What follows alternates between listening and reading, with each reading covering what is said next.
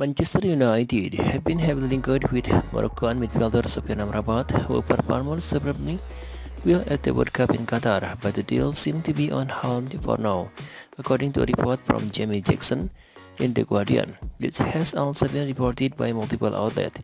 United recovered more for the Moroccan midfielder toward the end of the summer transfer window, but it is not as advanced as others, particularly in Italy, are claiming.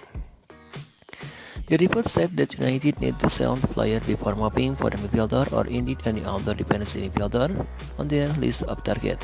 Fred, who has been linked with Galatasaray and briefly with Lazio, seemed the most likely move as things stand, but the club are also reportedly listening to offer for Harry Maguire, Donny Van Beek, Dean Henderson, Anthony Martial, and McTominay, with this player being on the fringe of the first team squad.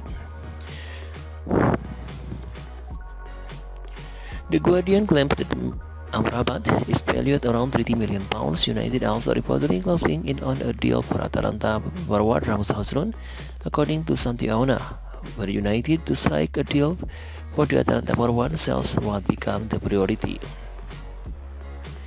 United budget for the summer according to the Telegraph was around 101 until 120 million pounds. Well, if United complete the signing of Højlund for 65 million pounds, then they would need to be around 45 million pounds in sales to reach that figure. Crucially, United have already generated around 20 million pounds from the sale of Anthony Elanga and Alex Telles, which will certainly help Erik Ten Hag budget for the summer.